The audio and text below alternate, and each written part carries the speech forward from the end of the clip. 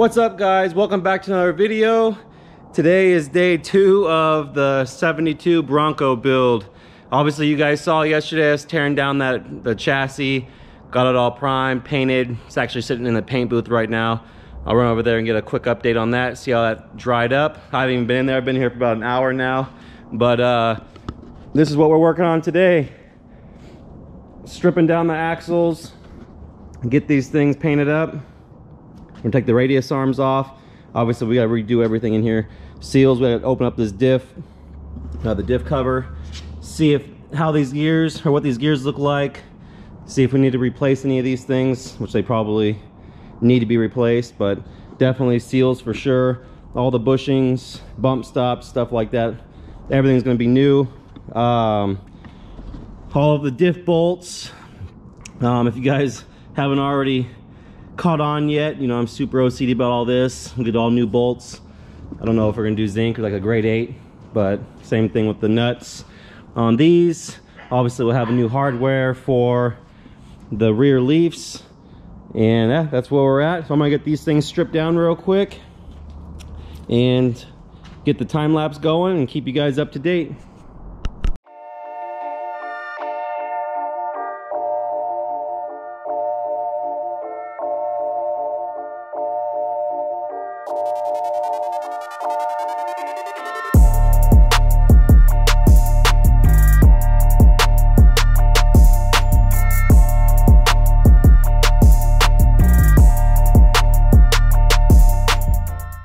The axles all stripped down, sanded down, get some primer on these things, get these things in the paint booth. So I'm just working on some heavy grease, stuff that we don't want the paint lifting. But uh, yeah, it's going, it's going pretty good. Ready for more paint? Yep, yeah, we got all the the brake lines off. Um, uh, really, just, yeah, just broke down the last couple little pieces we want to take off so we can get paint to all the areas. So, yeah, what's left? We in the booth, wipe down some wax grease remover. Yep. The spots that aren't perfect, like right here where the the radius arms go on. I mean, we're not really concerned about it. I mean, it's, it, it'll never be seen, and it's Yeah, no as long as it's deal. not bare metal, we're we're all good. But it's going smooth. Just want to give you guys a quick update, so stay tuned.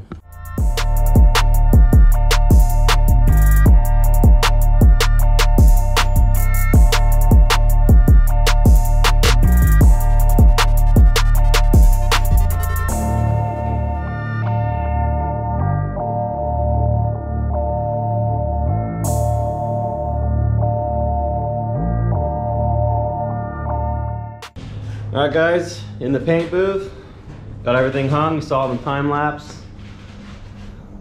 First time hanging anything from these supports up on the roof, so we'll see how they hold up. That's a good point. But, know, getting it done. Get this all sprayed black, let it sit, clean up, and go on our parts chase. Figure out what we're gonna get, need some motor mounts, stuff like that. But, I don't know. How you feel right now, Chris? How's it going? We moving right along? It's a good day to paint. it is a good day to paint.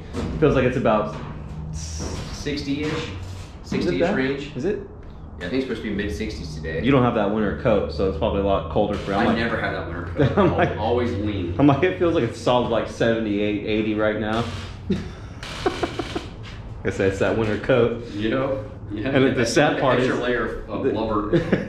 the sad part is, it's not even like the end of winter. It's like the early winter coat. oh, dude, right? It's gonna get even worse. The bad part is the summertime when you when you still have your winter coat, giving the house to your truck. I'm like, dude, there's three steps out your front door. Why you out of breath? Yeah, luckily I got the paint booth in here pu- pushing fresh air back in my lungs. All right. I don't need a I don't need a machine. But quick update, that's where we're at. So stay tuned, get this thing painted and get this stuff all finished up.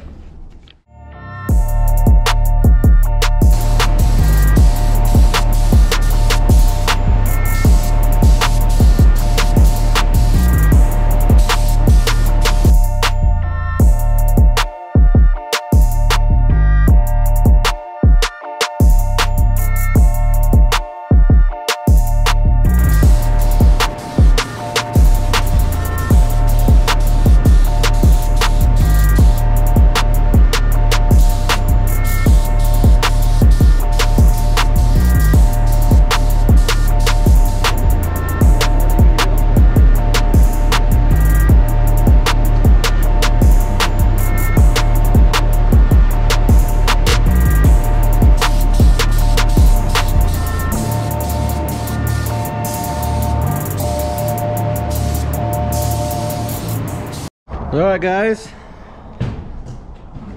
Made some more progress today since we uh, now have a working paint booth. I'm not gonna lie, I'm excited about this. All this work building this paint booth and getting the shop put together. Dogs do not be in the paint booth. Yeah. It came out nice. Yeah, we're gonna go through, you know, we're gonna replace all the nuts and bolts and whatnot. We really like that clean look to where it's just grade A, you know, hardware that's still exposed, not um, not painted over. Because I mean, yes, this is a good, nice look, you know, just clean paint. But personally, and Jared's the same way, so this is what we do. We're just gonna replace the nuts and bolts. Um, just zip one in at a time we're gonna do a uh, most likely do an aftermarket diff cover. Um, just to kind of give it a little bit more of a, of a built look. Even though this one does not look bad. No. So we almost leave it. Maybe just change the bolts out. Yep. But yeah, that's that's kind of one of our big deals. We just you know paint it, paint it, assemble, whatnot, and just one bolt at a time. Take it out, put a fresh bolt in, torque it to the to the uh, whatever the torque specs are, and just make it to where it looks nice and clean. I think that that is the cleanest look because it really looks like something was completely disassembled and reassembled. It looks factory brand new. Sorry guys, camera died. But we're back. and we switched sides. we did, didn't we? Yeah, it all turned out really good though. Like I said, we're just gonna swap out some bolts, nuts, whatever.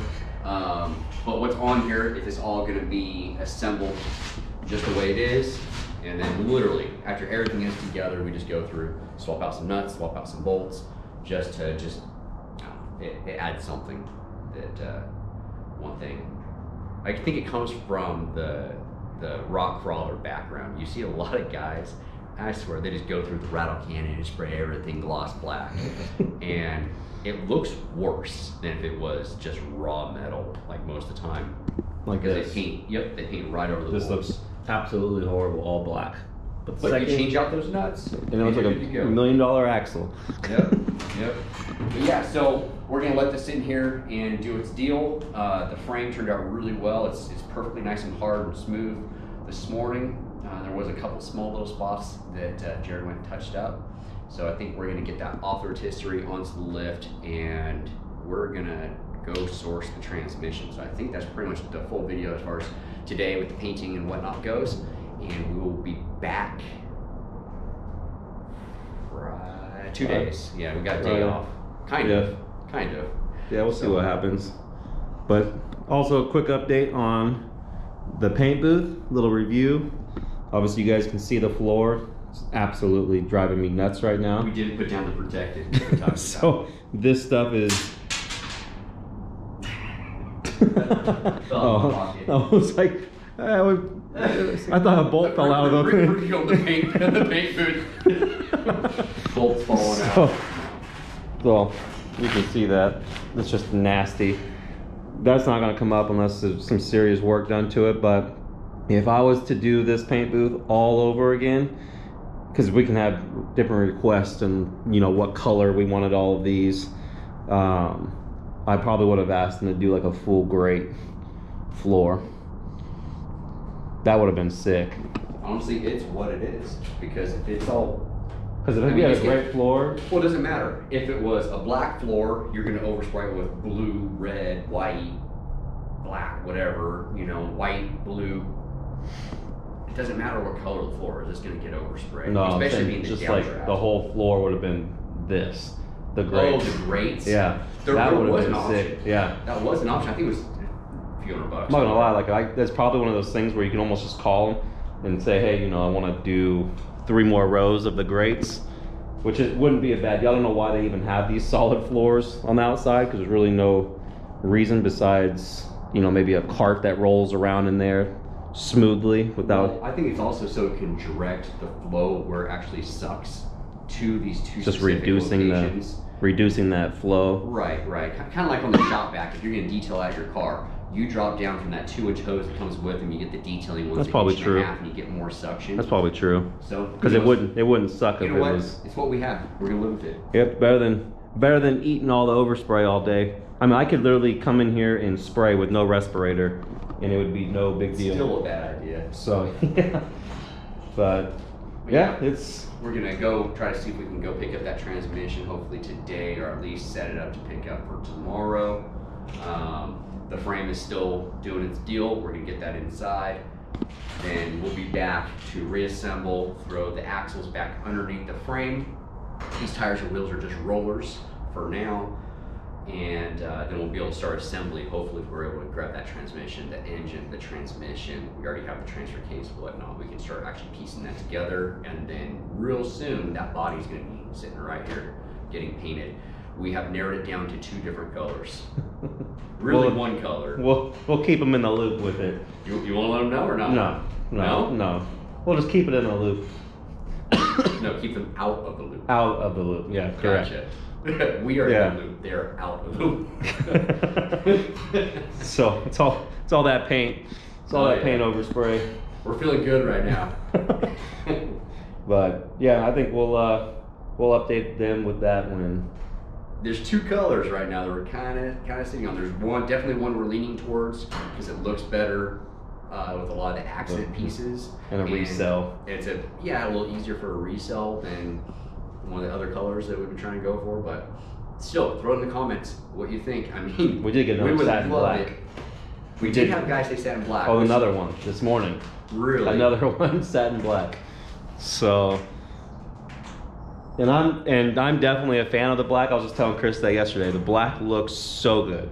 Black on black. I'm not a black on black type of person when it comes to the cars and stuff. Easy there, Chris. I didn't say it. I said nothing. But that's where we're at, guys. You know, it came out good. You know, a lot of stuff that's happened in the last two days. I got stuff to do tomorrow. Hope I can sneak back in here for some little stuff. But Friday we will be back here reassembling. So maybe we'll grab some hardware today.